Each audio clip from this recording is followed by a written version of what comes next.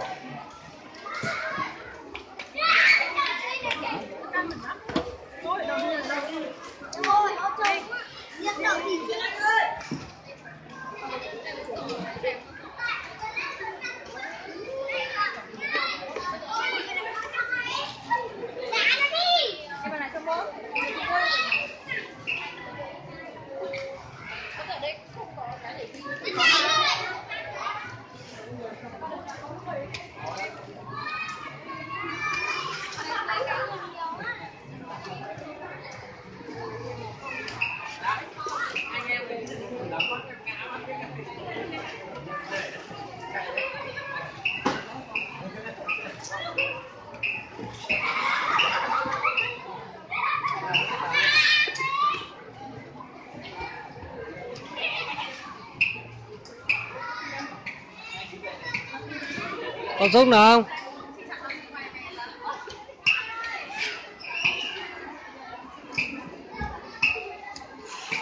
Rồi đứng lên con?